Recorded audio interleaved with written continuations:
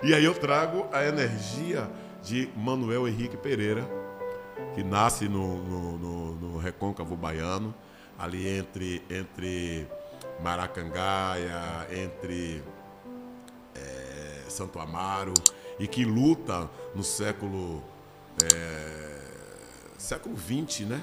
Século 20. Não, século 19, que ele ainda é do século 19. No combate, sabe, contra toda forma de opressão. Ainda no século XX, ele luta muito.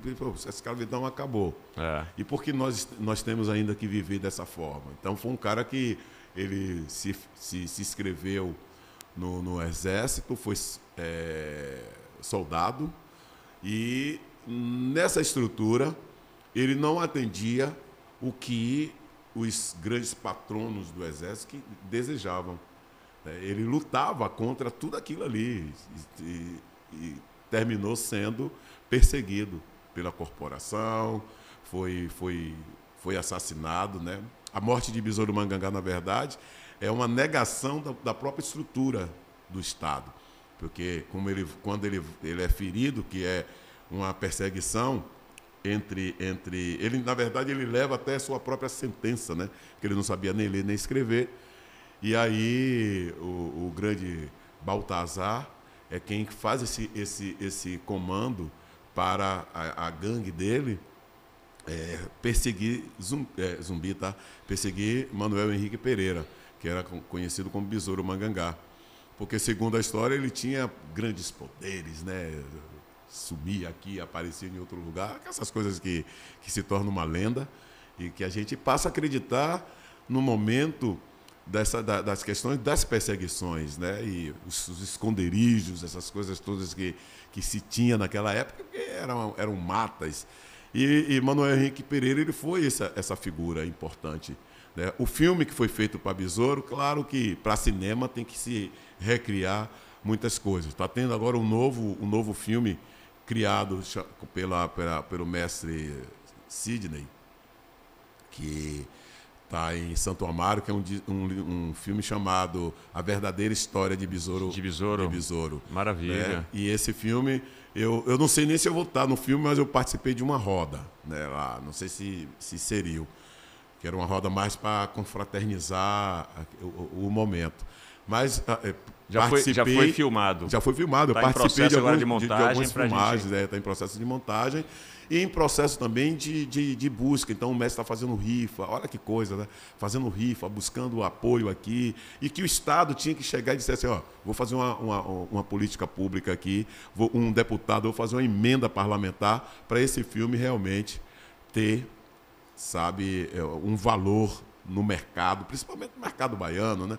Mas não tem isso. Eu acho que tudo que, que é feito para para Besouro parece que, que tem que ser negado o tempo inteiro, assim como o Messi Bimba, que morreu também na Mazela, assim como o Messi Pastinha. Mário Guzmão. Ma Mário Guzmão. O final de Mário é, Guzmão é, foi triste, Mário, né? Foi, foi muito triste, é, é. sabe? Então, é isso que, que, que, é, que é importante denunciar. É, isso é uma é. denúncia muito grave. Eu estou aqui através desse pod para dizer a, a, a, quem é cineasta, quem tem empresas, que ajude a construir essa história, né? que é importante a contar, porque não é para o Tonho Matéria, que já tem um conhecimento histórico, já tem, já tem bagagem, já bota a mochila nas costas, pega o carro e vai, como eu fiz esse final de semana agora. Fui para é, Alagoinhas, fui para é, Santo Amaro, ontem eu estava em Santo Amaro, da Purificação. Isso são para, isso é para os jovens que estão começando a se entender enquanto processo identitário, né? processo histórico, processo cultural, e falar assim, poxa, quem eu sou, para onde eu vou, o, qual a história foi contada para mim. E aí é preciso ter essa história de besouro, é preciso ter a história de, de Felisbão, de Tafa, Tafarim, é, é preciso ter a história de, de Antônio Conselheiro, de Mário Guzmão, do Olodum, do Araqueto, isso nos livros, no cinema, sabe, nas grandes, nas grandes mídias, para que isso se transforme realmente em um poder de, de, de, de, retorno desse conhecimento. Porque quando a gente sai aqui que liga o, o, o rádio, a gente vê o que é que está tocando, né? parece que é uma perversão. Te dá para a sociedade preta aquilo que realmente acha que está alimentando. Né? E eu faço uma desconstrução com a Mangangá. Pelo menos na Mangangá eu tenho esse poder de fazer isso. Reúno minha turma e digo assim, tudo que está aí não é nada disso aí. Presta atenção.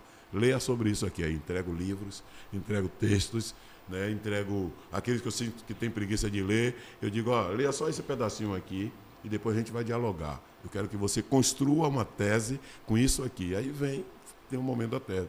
Aí o cara diz, pô, a Mangangá é um, é um, é um grupo diferenciado? Não.